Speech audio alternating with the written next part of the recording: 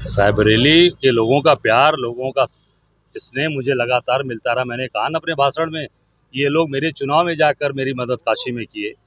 तो निश्चित तौर से मुझे जब ये जानकारी मिली कि यहाँ पर भगवान कृष्ण की जन्माष्टमी मनाई जा रही है और बहुत बृहद रूप से मना रहे हैं, चेयरमैन साहब हमारे साथ हमारे जिला अध्यक्ष तो सब लोग, मैं निश्चित तौर से इस स्थान पर, पवित्र स्थान पर आया और इसलिए चुनने का भी मन आया कि ये ऐसी स्थान है जो पूरे देश में एक लहर चली, उसके बावजूद भी रायबरेली में वो लहर काम नहीं आई।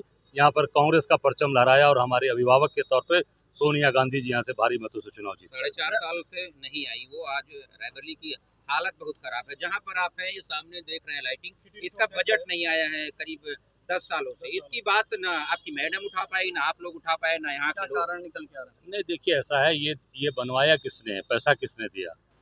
ये पूरी तरीके से बजट किसने लाया? ये सोनी ये हमारी सोनिया जी लेकर आई। ये पूरे शहर का ये कमांड सेंटर ये यहाँ पे सारी छोटी छोटी दुकानें बनेंगी। हम ले आए हमारी सरकार चौदह में चली गई। नरेंद्र मोदी जी आए उसके बाद एक पैसा नहीं दिया इन्होंने। एक पैसा नहीं दिया काम कराने का क्योंकि सोनिया गांधी जी के क्षेत्र में रायबरेली का क्षेत्र यहाँ पर हार गए तो इस नाते इन्होंने सारी चीज़ों को रोक दिया। भेदभाव। करके। रोका गया। अब हमारी सरकार 2024 से बनेगी।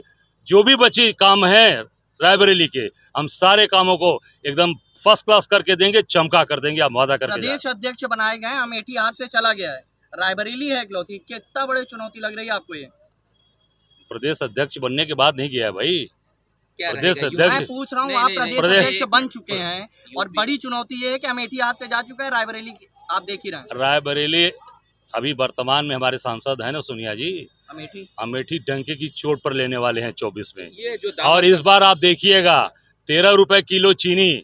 जिस तरीके से उन्होंने कहा पूछ लिया अमेठी में किसी को तेरह रुपए किलो चीनी मिली है? कोई आपके परिचित खाए हो तेरह रुपए किलो चीनी तो बताइए।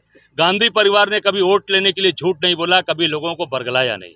हम जो कहते हैं वो करते हैं। डंके की चोट पर कहते हैं वही करते हैं। क्या फिर से सोनिया गांधी यहाँ से चुनाव बिल्कुल सोनिया जी यहाँ से सांसद है सोनिया गांधी जी लड़ेंगे। और अमेठी से किसका? अमेठी जी राहुल जी राहुल जी वहाँ से सांसद रहे हैं वहीं राहुल जी लड़ेंगे डंके की चोट पर लड़ेंगे रायबरेली। अब प्रियंका जी हम सब लोग काशी के लोग चाहते हैं बनारस के लोग चाहते हैं काशीवासी चाहते हैं कि आवे बाबा विश्वनाथ के दरबार में वहाँ से चुनाव लड़े और बहुत ज़बरदस्त तरीके से उनको चुनाव जिता कर हम लोग अध्यक्ष जी जी ये लोग दावा कर रहे हैं कि 80 में 80 कम से कम यूपी की जो है तो कैसे उनको ये देख रहे हैं कि 80 का 80 ये क्यों अस्सी में क्या देखना अभी देख लें बगल में कौशल किशोर को देख लें उनके घर में यहाँ के सांसद हैं मोहनलालगंज से।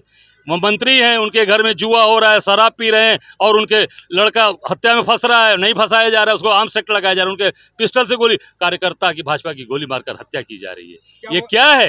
ये अत्याचार अन्याय पहले टेनी को बचाया टेनी के लड़के को बचाया अब कौशल किशोर के लड़के को बचाने का प्रयास भारत और इंडिया को लेकर विवाद हो रहा है हमारे लिए भारत आप? हमारे लिए हिंदुस्तान एक है इंडिया भी हमारे लिए महान है भारत भी महान है दोनों हमारे लिए इस देश की मिट्टी महान है।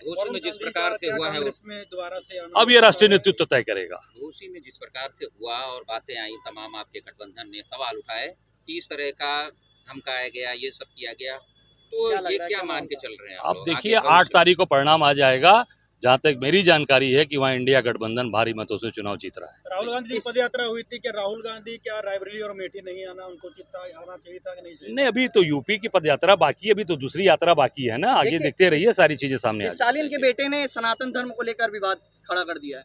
कैसे देख रही है कांग्रेस उसको? आप ये देखिए ना कि मैंने कहा ना कि एक मंत्री जी को देखिए किस तरीके से भगवान शिव के अर्घे में हाथ धो रहे हैं।